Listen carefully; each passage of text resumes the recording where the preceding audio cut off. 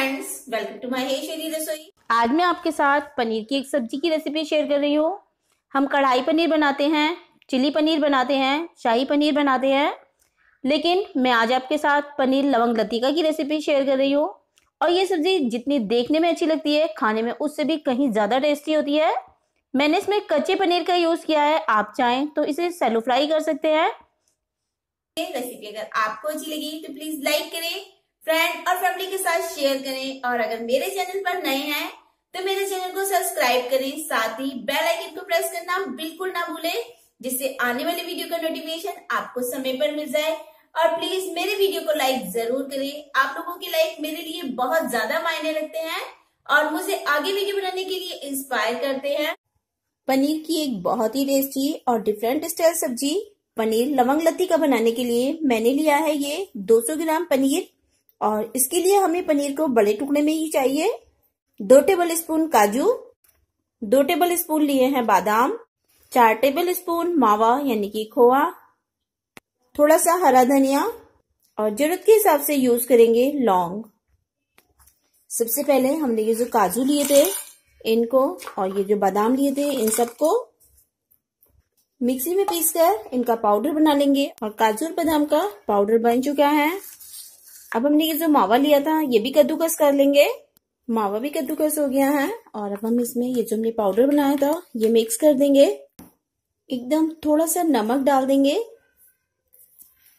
और ये बारीक कटा हुआ हरा धनिया, और इन सब चीज़ों को एक साथ अच्छे से मिक्स कर लेंगे। सब चीज़ें एक साथ अच्छे से मिक्स हो गई हैं। और उसके बाद हमने ये जो पनीर लिया था, इसके थोड़े मोटे मोटे हम स्लाइस कट कर लेंगे। बस इस तरीके से। और इसके बाद इन स्लाइसों को हम इस तरीके से बीच से कट कर लेंगे। और पनीर को कट करने के बाद में हम एक एक पनीर का स्लाइस लेते जाएँगे।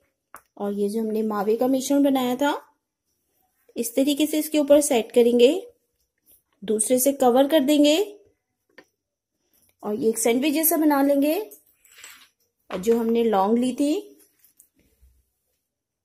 इस तरीके से हम इसमें लगा देंगे, अच्छे से प्रेस कर देंगे और इसी तरीके से मैं ये सब सैंडविच बनाकर तैयार कर लूँगी। हमारे ये सभी छोटे छोटे सैंडविच बनकर तैयार हो गए हैं और अब हम आगे की तैयारी करते हैं और इन्हें एक साइड से रख देते हैं। अब गैस ऑन करके गैस के ऊपर मैंने एक पैन रख दिया है और पैन के अंदर हम दो टेबल स्पून कुकिंग ऑयल डाल देंगे।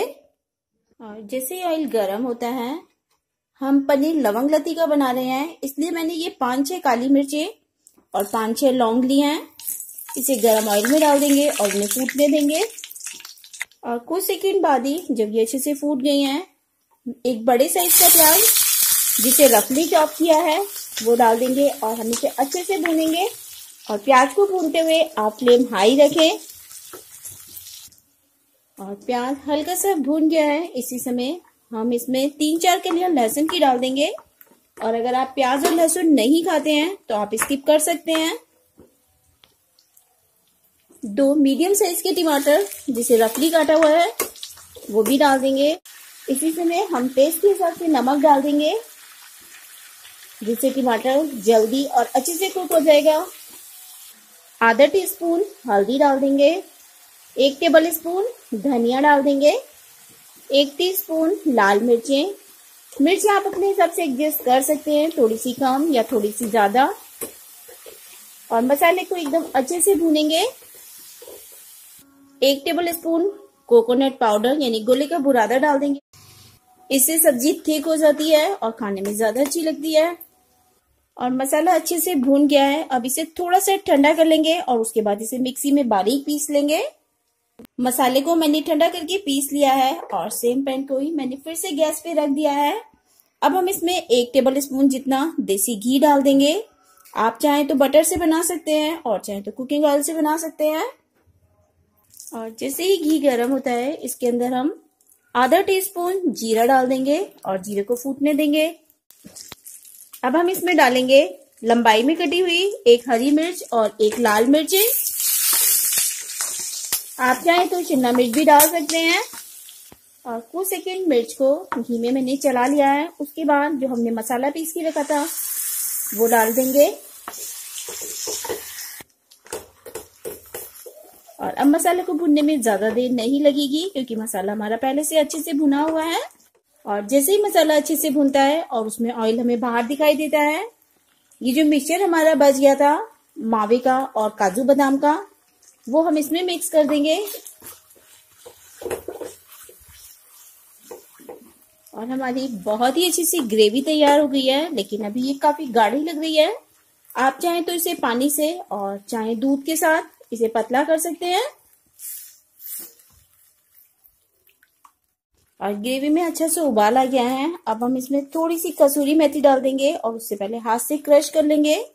ये होममेड कसूरी मेथी है। इसकी रेसिपी अगर आप देखना चाहते हैं तो लिंक आपको डिस्क्रिप्शन बॉक्स में मिल जाएगी। अब फ्लेम को एकदम लो कर देंगे और इसे ढककर हम करीब तीन मिनट तक इसी तरीके से पकने देंगे। और ग्रेवी को बोलते हुए आप तीन मिनट हो गए हैं और ग्रेवी अच्छे से पक गई है। और अगर आप इसे और पतला करना चाहते हैं तो आप इसमें थोड़ा सा पानी या दूध कुछ भी और डाल सकते हैं।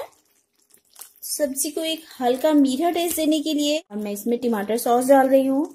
एक टेबल स्पून जितना हम इसमें टमाटर सॉस डाल देंगे। इससे सब्ज़ी का टेस्ट बहुत अच्छा हो जाता है।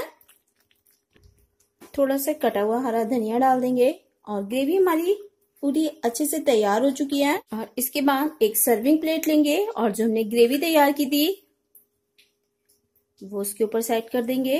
और ऊपर से हमने जो पनीर के छोटे छोटे सैंडविच बनाए थे, ये साइड कर देंगे।